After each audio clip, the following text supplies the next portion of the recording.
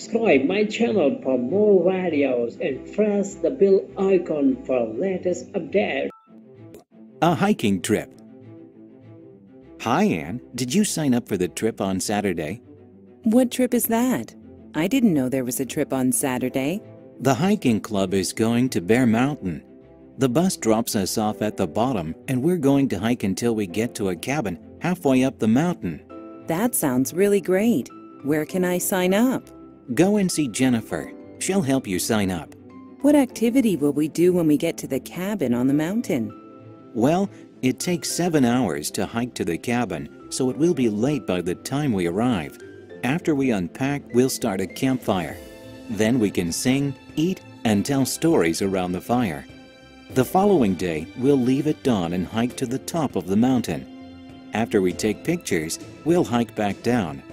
If we have time, we might go swimming in the lake on the mountain. Those sound like really fun activities, and I can't wait to go. Save the turtles. Have you heard about the plan to save turtles in Mexico? No, what is the story? Turtles are in danger of becoming extinct around the world. Every year, thousands of turtles lay eggs on the beach. After the turtles lay their eggs in the sand, people come along and take them. I suppose the people like eating turtle eggs. Exactly. Turtles are beginning to stay away from certain places now. There are fewer and fewer of them left. There is a new project in Mexico to save these eggs. Then turtles will not become extinct. I think it's a very good project. Is there anything we can do to help? I'm going to call the Environmental Protection Hotline. They might have some information about the project to help save turtles in Mexico. They might even have a brochure. Let's find the website on my computer. Oh, here it is. The address is www.enviro.com. There's plenty of information here. Great! Let's see what we can do to help save turtles in Mexico. Hiking in Iran. People think that the Middle East is only a desert. This is far from true. Last year, I went hiking in Iran.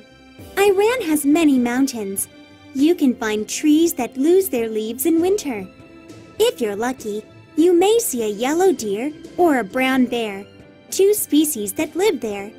The air is fresh and you can swim in clear, clean lakes. I definitely recommend it. There are so many birds to see. It is fun to go into the forest with binoculars to look at birds. Seeing the birds through binoculars makes them seem much nearer than they actually are. You can write down all of the species that you see. You should learn about their calls first. That means the sounds that each bird makes. Sometimes it's hard to see the birds. However, you can identify them if you happen to hear them. I want to go back to Iran again someday. It's so beautiful that I want to see and explore much more of it. Jane Goodall. Jane Goodall went to Africa when she was 26 years old. She went there to research chimpanzees. At that time, no other women scientists worked there alone. At first, Jane studied the chimps from far away. The chimps were afraid of her. They ran away if she came close to them. After some time, the chimps saw that she was not going to hurt them. They let her walk near them. Soon, she was living among them. She wanted to learn more and more about them. Jane did a lot of research on chimps. She discovered many new things about them.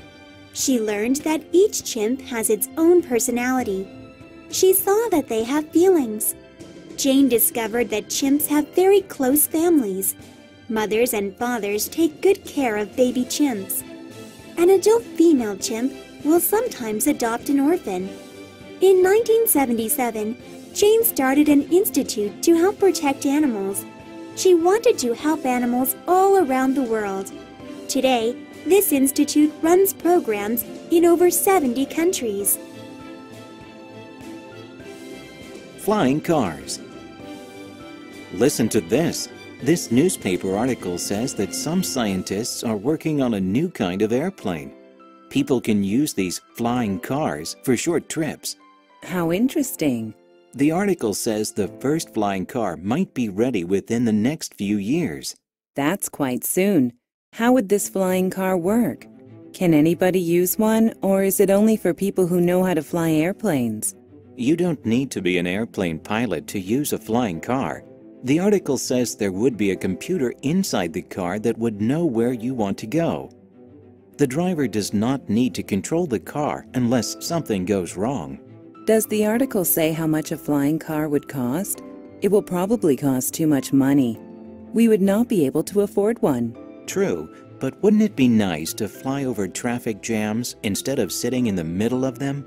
Yes, but then we might end up with traffic jams in the sky.